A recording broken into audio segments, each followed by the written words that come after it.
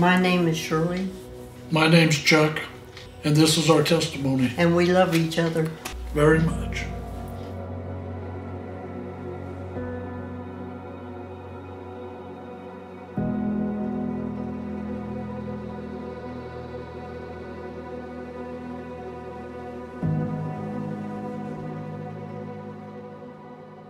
I'm Shirley Zigmund, and I'm married to this wonderful man right here, Chuck Zigmund. I was born in Missoula, Montana, 1938. My dad was in the Army. We were transferred to Alaska. When Pearl Harbor was bombed in 41, all the civilians had to come back to the States. So we went to Utah to live with my grandparents. Then went to Montana and bought a home. I was born in Billings, Montana, grew up in Missoula, Montana.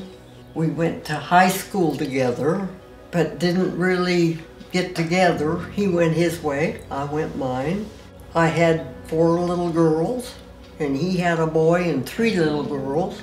He was a softball commissioner for the city of Missoula, and I played softball. And we used to get together after the games.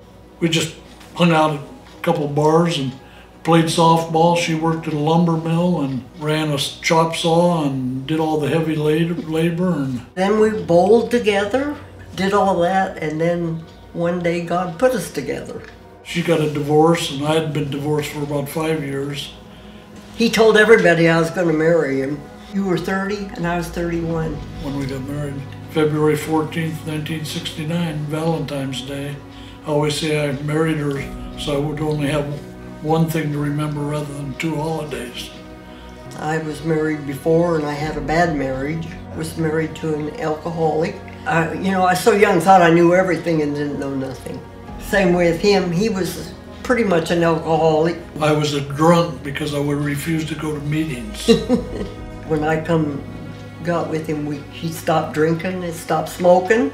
Neither one of us knew the Lord. I knew of the Lord because my mama taught me about the Lord. She prayed for us all the time, but I was brought up a Lutheran church and not even going to it real often like you should. I was an alcoholic, but I always say I was nothing but a functional drunk because I would drink from 5 o'clock in the evening till 2 o'clock in the morning every day. And then on weekends, I'd get serious and drink all day and all night. My life was really a mess. Like I say, I was a functional drunk. One day he came home and he says, uh, I'm going to go back into the Navy. And I said, okay. The guy that got him in the Navy was from Knoxville, Tennessee. So they sent us to Knoxville, Tennessee in 1971. We went to Montana on a trip. When we were coming back, we come back through Wichita, Kansas. And I said, boy, I hope I never have to live in Kansas. We get back home, back to Tennessee, and he's transferred to Wichita, Kansas. God has a sense of humor. Yeah, and I just cried. I just cried. I said, I don't want to move to Kansas. His commanding officer was a Christian, and he was inviting everybody at the Naval Reserve Center to a Bible study at his home. Every day, his commanding officer asked him, If you died today, where would you go? We were the only ones that went to the Bible study. And one day in January, we were studying Mark. We just had gone to a Bible study. We went home from the Bible study. We were laying in bed, and I says, I think we need to accept Christ as our Savior. And he says, I think so too. So that was in January of 1976. We accepted Christ. We struggled many times. He worked two jobs just to make ends meet.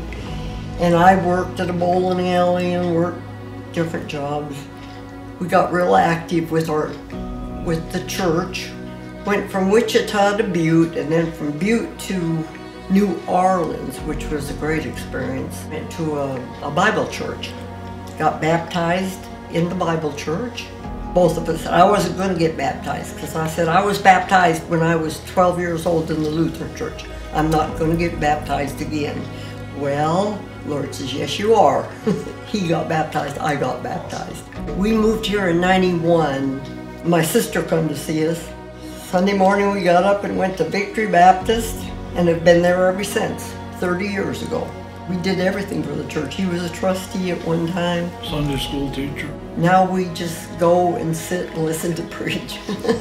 and Brandon and Greg and Jeremy, we, we just love our church. I've got such good friends that come and see me and take care of me and pray for me and and he still does stuff with, for the church, don't you?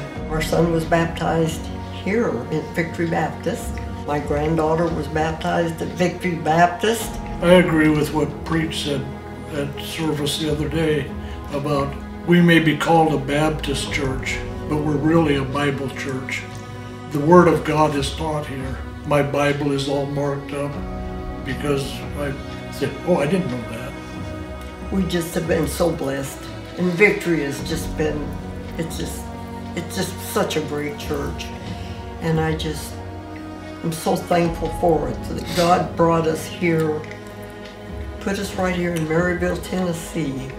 I, I just think of the times one day I said to my sister, I think God put me here and forgot where he put me. I was so, so scared of life. And then I just would, I just would praise the Lord and thank him so much for giving me, for saving me. It's just, and I really have to depend on him. Mama always told us about Jesus. I knew there was a Jesus. I knew there was a, I we never doubted there was Jesus, but I didn't know Jesus. And then one day I made him the Lord of my life, and now he is the Lord of my life. And I depend on everything from him.